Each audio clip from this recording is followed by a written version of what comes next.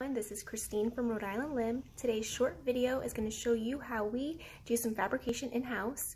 Today's video is going to show you how we are fabricating bilateral below the knee prostheses for a patient who has been amputated below the knee.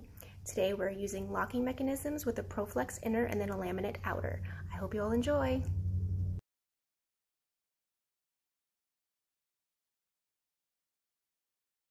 I think people like this kind of stuff, Yeah, that's the fun stuff. you know?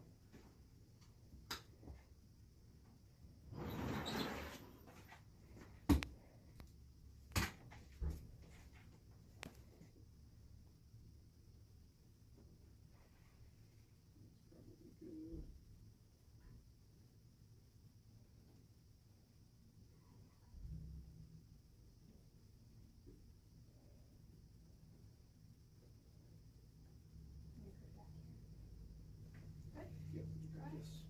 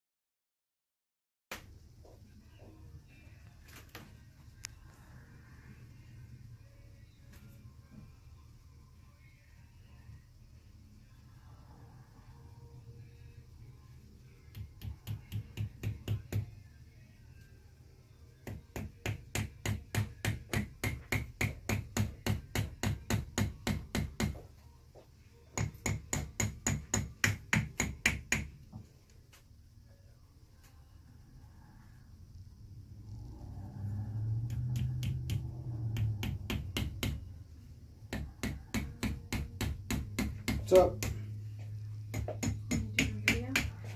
Um, Yeah, that's